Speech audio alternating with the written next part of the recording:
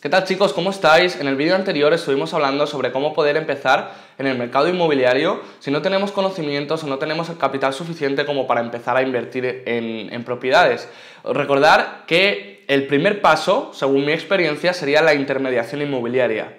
Ahora bien, ¿cómo podemos llegar a esos particulares, a esos propietarios de, viviendas para poder gestionarlas y cobrar esa comisión gracias a la gestión y a la intermediación de esas propiedades?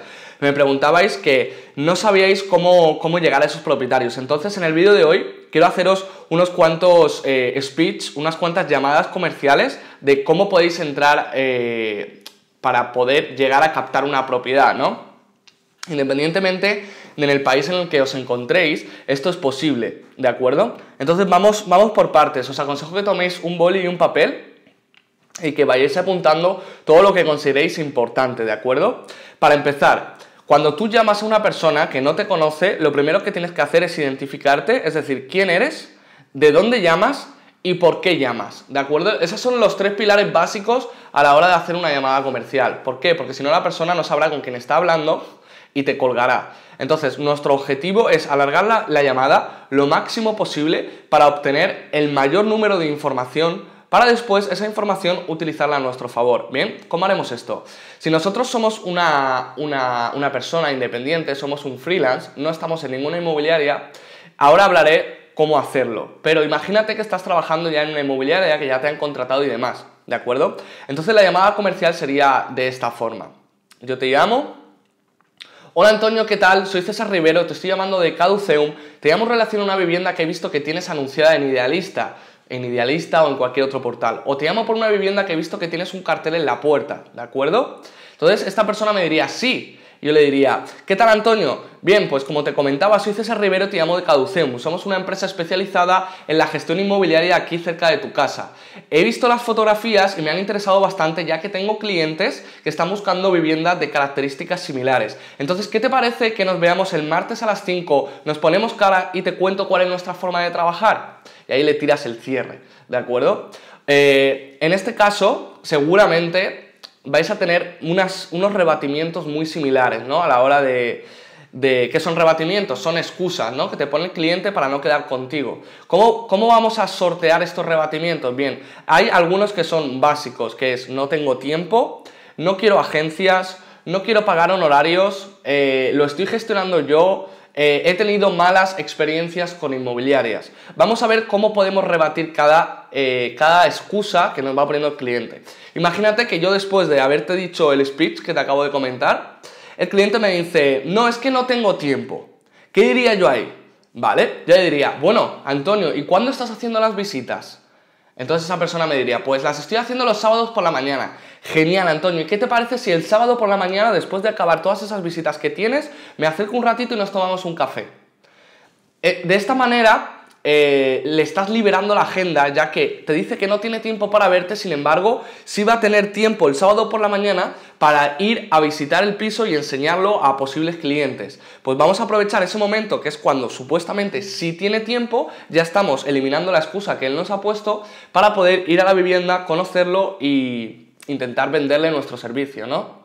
¿Qué otra ¿Qué otra posible eh, rebatimiento tenemos? Eh, ¿No tengo tiempo? Pues le preguntas al, al propietario, oye, ¿y si no tienes tiempo, cómo estás haciendo las visitas? Y de nuevo vas a la misma, a la misma zona.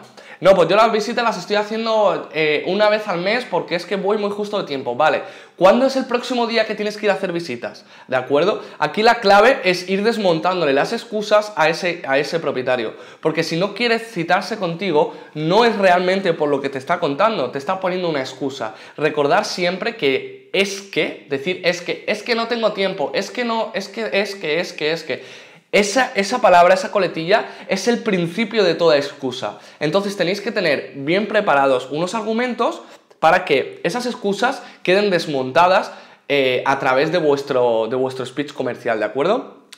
Otra, otra excusa que nos pueden poner, oye, es que yo no quiero agencias, lo quiero llevar por mi cuenta. ¿vale? Pues ahí lo relajáis le decís, claro Antonio, si yo realmente no te estoy llamando para que me contrates, simplemente te estoy llamando para que me conozcas. ¿Por qué?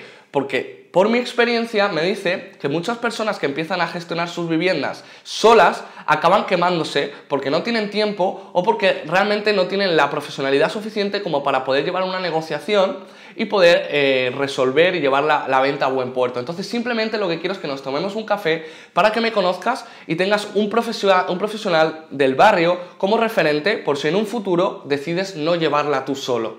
Ya hemos relajado al cliente, le hemos dicho que no queremos venderle nada, que no queremos que nos contrate, simplemente queremos que nos conozca si en un futuro eh, necesita de nuestros servicios que no tenga que estar buscando a un profesional de confianza puesto que ya tiene uno y eres tú, ¿de acuerdo? Eso podría ser otra, otra de las maneras. Entre esto, pues intenta meterle alguna broma, ríete. Yo muchas veces lo que le decía cuando me decían, no, es que no quiero agencias, Después de 100 llamadas, pues tu cerebro ya pasa, le da igual el rechazo y después de, tanto, de tantas llamadas dices, pues voy a tomármelo con humor, ¿no? Y a veces les decía, eh, no, si yo la agencia no se la voy a regalar, caballero, y me reía y así, pues un poquito también lo que vas haciendo es eh, romper el hielo, ir pues fidelizando a esa persona, ¿no? ¿Qué más excusas nos pueden poner? Hayamos dicho, no quiero pagar honorarios. ¿Vale? Perfecto. Una persona le, cuentas todo, no sé qué. No, es que mira, yo no quiero pagar honorarios. Claro, caballero, lógico y normal. A ninguno nos gusta pagar de más. Pero dígame una cosa. Cuando eh, usted va a, a, la peluquería o cuando usted va al mecánico y le hacen una reparación en el coche o le cortan el pelo, ¿verdad que usted paga por ese servicio? La persona te dirá, sí, claro. Pues esto es lo mismo. De hecho, yo nunca he dejado de vender una propiedad por los honorarios. Yo estoy aquí para ayudarle para sumar, no, no quiero ser un inconveniente. Y ahí vas intentando pues suavizar el asunto y hacerle ver que, realmente tú no le estás llamando para pedirle dinero, sino que en consecuencia de tus gestiones y de tu ayuda vas a recibir una compensación económica como es lógico. Pero déjalo en segundo plano, porque tu objetivo en esa llamada simplemente es conocerlo. ¿De acuerdo? Una vez te conozca, una vez sepa los servicios que tú le vas a prestar, va a ser muchísimo más sencillo decirle, oye, pues yo cobro un 2 o cobro un 3% o cobro lo que, lo que cobre. ¿De acuerdo? Otra de las, de las excusas que te pueden poner es que han tenido malas experiencias con las agencias inmobiliarias, han tenido malas experiencias con los profesionales. Yo en ese caso, lo que les digo, o decía más bien, era, em, bueno Antonio, ¿usted ha estado alguna vez malo? La persona se quedaba así un poco descolocada, esto lo tenéis que hacer rápido para que no, para que no os cuelguen, no nos digan, mira, déjame en paz, ¿no? Pero si lo haces bien, puede funcionar era, em, bueno Antonio, ¿usted ha estado malo alguna vez? Te va a decir, sí, claro. ¿Y cuando, has, cuando ha estado malo, ha ido al médico? Sí. ¿Y alguna vez ha tenido que esperar muchísimo o el médico que le ha tocado no era de su agrado? Te va a decir, sí, claro, me ha pasado varias veces. De acuerdo. Y ahora pongamos un ejemplo, Antonio. Imagínate que ahora se pusiera malo. ¿Iría al médico de nuevo? Y la persona te va a decir, sí. Vale. Pues Antonio, eso mismo pasa con las agencias. Seguramente haya muchos malos profesionales, igual que en las agencias, en los, en los, restaurantes, en cualquier sitio de atención al público. Pero no por eso todos los profesionales de ese sector tienen que ser malos profesionales. ¿Está de acuerdo conmigo, Antonio? Entonces, por eso mismo yo quería conocerle y contarle cómo trabajamos. ¿Qué le parece si nos vemos el lunes a las 5? De nuevo le metes el cierre después de cada rebatimiento. Estos son simplemente tips que yo he puesto en práctica, que me han funcionado y por eso lo retransmito a día de hoy. Es realmente todo esto se basa en prueba y error y se basa en, una estadística.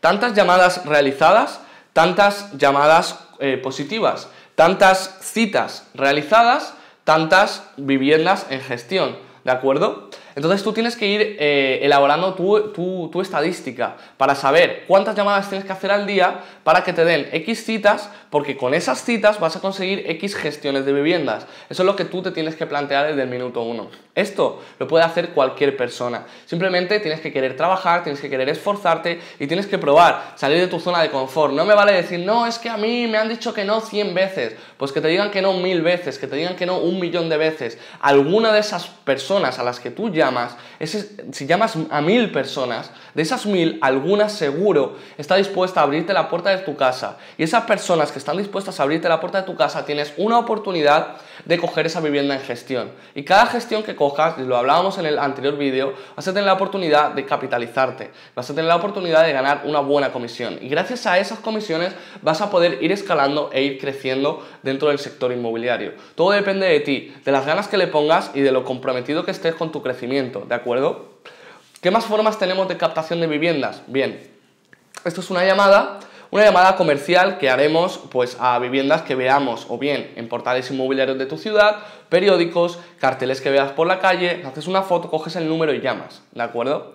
Eh, en alguna ocasión también puedes ser un poco pillo, un poco pícaro, ¿no? Y, por ejemplo, imagínate que estás viendo la propiedad en, en un portal inmobiliario, estás viendo las fotos, te metes en Google, miras la calle y ves que en esa zona hay bares cerca, ¿vale? Yo esto lo he hecho varias veces y me ha funcionado. ¿Por qué a ti no? Hay bares cerca, ¿de acuerdo? Entonces te metes y ves, pues, por ejemplo, seguimos con Antonio. Antonio, ¿vale? Yo veo que hay bares por aquí. Puedes llamar a Antonio y jugar un poquito. Te puede salir mal, pero ¿y si te sale bien? Tienes que intentarlo, ¿vale?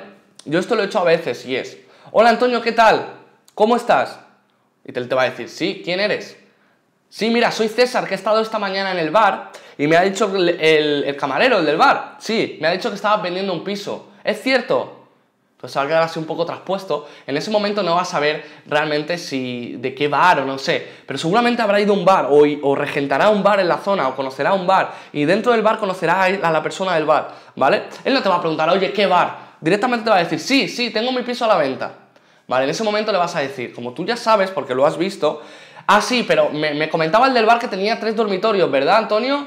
Sí, tiene tres dormitorios, te va a decir. Vale, perfecto. ¿Por qué te digo esto? Mira, yo soy muy amigo del del bar y le he pedido que por favor me buscase un piso o me dijese de alguien que estuviese vendiendo un piso en la zona de tres dormitorios, dos baños, eh, con las paredes así, tal, tal, y le describes más o menos, sin que te vea, se te vea el plumero, le describes su piso, ¿vale? Entonces te va a decir, sí, tal, eh, vale, ¿y qué querías?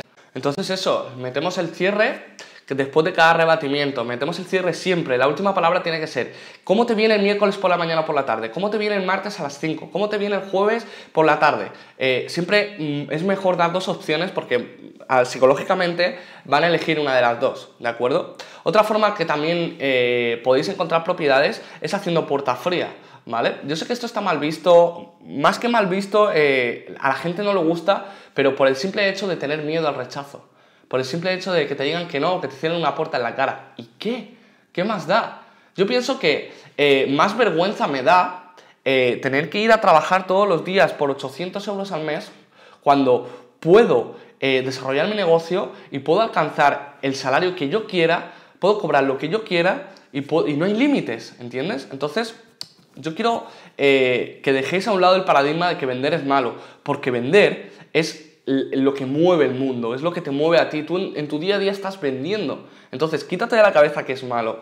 A lo que íbamos. Tú puedes ir casa por casa tocando y dejando una tarjetita a esas, a esas personas que vivan en la vivienda, simplemente diciéndoles, hola, ¿qué tal? Soy asesor inmobiliario en la zona. Eh, si estás pensando en comprar, estabas pensando en comprar o alquilar, a ver qué te dicen. Puedes probar. Oye, pues no, pues de momento nada. Mira, te voy a dejar una tarjetita.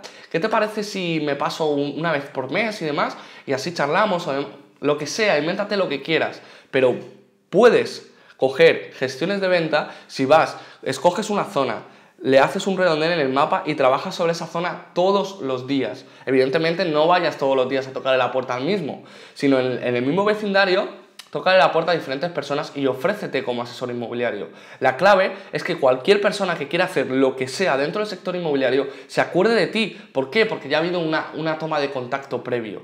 Cuantas más personas contactes, más posibilidades tendrás de gestionar más viviendas. Cuantas más viviendas gestiones, más posibilidades, más posibilidades tienes de capitalizarte. Cuanto más capitalizado estés, más viviendas hayas gestionado, más gente te conozca, más posibilidades tienes de entrar a escalar, de comprar propiedades incluso tú con tu dinero o eh, asesorar a otros y utilizar el dinero de otros para que la compren, pero todo tienes que ir escalando, tienes que ir subiendo peldaños, ¿de acuerdo?